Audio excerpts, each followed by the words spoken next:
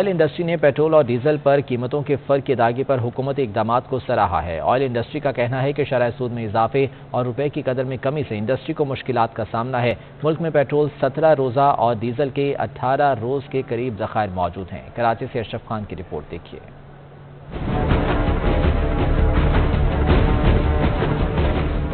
Refinery oil industry का मामला। Oil industry वजारत तोानाई ओगरा और वजारत खजाना का प्राइस डिफरेंशियल क्लेम की मंजूरी पर रहा है। ऑयल इंडस्ट्री जराये का कहना है कि शरसूद में इजाफे और रुपए की कदर में कमी से इंडस्ट्री को मुश्किल का सामना है। हुकूमत इस मामले को समझ कर बर वक्त प्राइस डिफरेंशियल क्लेम की अदायगी कर रही है। ऑयल इंडस्ट्री सेक्टर का कहना है कि मुल्क की पेट्रोलियम मसूलत की तलब को पूरा करने के लिए प्लानिंग भी कर ली गई है। मुल्क में हाई स्पीड डीजल के चार लाख नब्बे हज़ार मेट्रिक टन के जखायर मौजूद हैं, जो अठारह रोज की तलब के बराबर हैं। इंडस्ट्री के मुताबिक मुल्क में पेट्रोल के चार लाख नब्बे हज़ार मेट्रिक टन के जखायर मौजूद हैं। पेट्रोल के जखायर सत्रह रोज की तलब के बराबर हैं। इंडस्ट्री का ये भी कहना है कि दरामदी पेट्रोल के तीन बहरी जहाज़ पेट्रोल की अनलोडिंग के लिए कराची बंदरगाह पर मौजूद हैं। दरामदी डीजल के भी तीन बहरी जहाज़ कराची बंदरगाह पर अनलोडिंग के लिए मौजूद हैं।